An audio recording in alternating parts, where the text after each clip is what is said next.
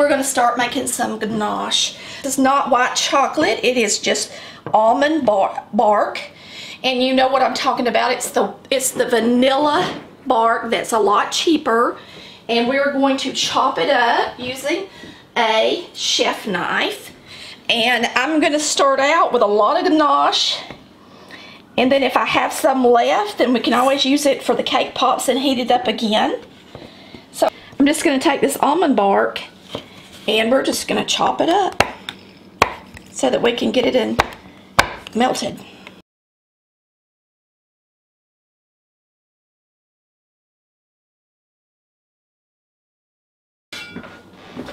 Use our handy dandy scraper and get this in our bowl.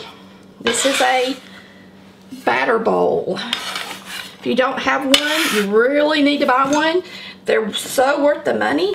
You will never be disappointed that you spent the money on one. That was just a Walmart brand. It was 24 ounces, which is a pound, 8 ounces of almond bark, vanilla flavored coating. So what I'm going to start off doing is I'm going to add some canned evaporated milk just to help melt it up. Now you don't want to get too much in there because if you get too much, then it won't harden and make a nice finish for you.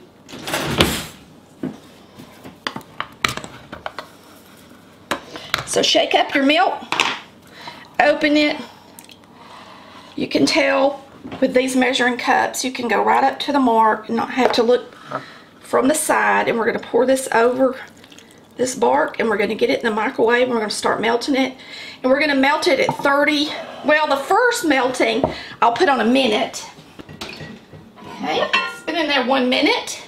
We're going to take it out, get a spatula, and start mixing it up.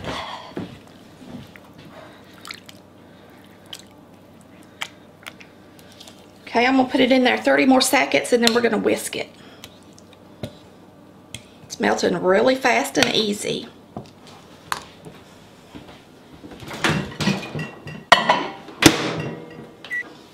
Okay, it's been 30 more seconds. So let's whisk this up. Get you out a good wire whisk not a silicone one because you're going to need to make sure it's mixed really, really well.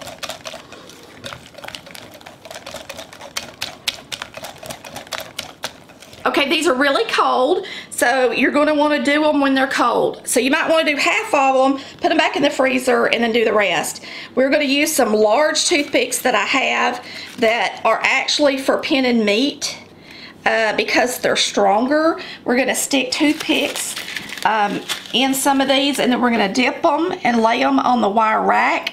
The wire rack has parchment underneath it so that when they drip we can actually use our handy dandy scraper and uh, take that extra, put it back in the bowl. Alright, we're going to scrape this extra off, get it in here in the bowl, heat it up to dip our other cakes. This way you don't waste it. If it gets too thick on you, um, then go ahead and uh, get it on the mic in the microwave and heat it up a little bit more. So I'm going to go ahead and if you got a little piece sticking out like some of that filling was, I'm just going to go ahead and dip them quick and let them drain because it's easier to do it that way.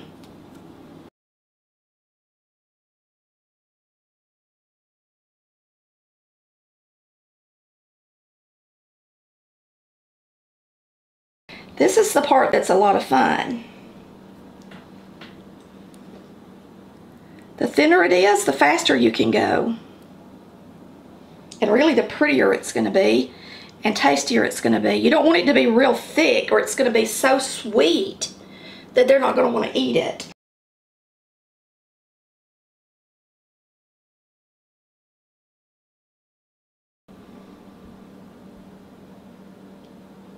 Slide it, uh, a spatula underneath the bottom and then place it in the cup. Try to get it upright. If you push it down in there, it almost makes the cup form into a square. And you can touch them. I mean, they're dry. Hey, y'all. Let's decorate some of these petit fours. I've got a little bit of white icing. It's not going to take much because they're tiny little cakes. So we're going to use some green, yellow, violet, and pink. And I want to show you a couple of things that we can do. Let's get out a little bit for green, yellow, violet, pink. We're just going to mix up each of these colors with a little bit. I'm going to use a toothpick and place a little bit of color in each bowl. Green. I'm going to go ahead and put it up while my hands are clean. I don't want to get color all over my color holders. It's real easy to make a mess and get color everywhere, but if you do it this way, then you're less likely to. I want to get a lot of yellow in there. I want this to be a really, really bright yellow. And I know that's not a lot of icing, but I still want it to be bright. And we are going to use a leaf tip, which is 366, I believe. 352 Wilton. 352 Wilton. Wilton 109. We're going to place it in the bottom of our bag. Put in our color.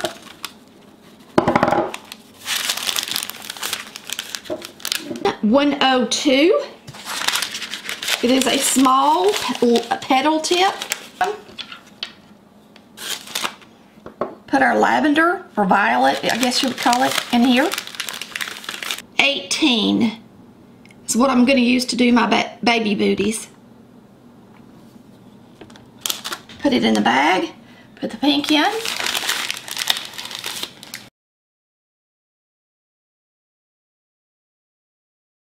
You can see on each of these where our toothpick was. So of course we want to decorate these up and cover that up. I'm going to start with just making a, a um, rosebud. And all you do is you use the small petal tip. One, two, three. Okay, I'll do one facing you. One, two, three.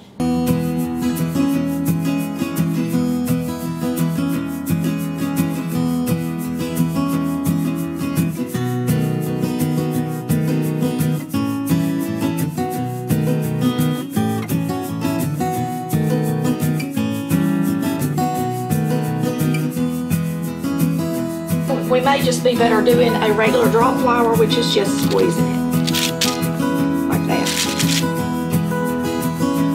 So just kind of hold it so it don't move anywhere. Squeeze it.